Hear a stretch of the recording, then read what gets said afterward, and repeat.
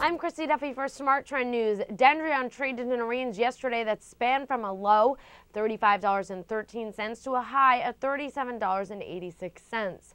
Yesterday, the shares fell over 2%, taking the trading range below the three day low of $36.58 on volume of 8.3 million shares.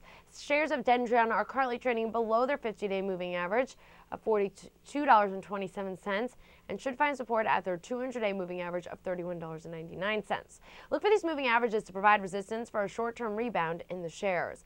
SmarTrend is bearish on shares of Dendreon, and our subscribers were alerted to sell on May 19th of this year when the stock was at a price of $42.70 per share.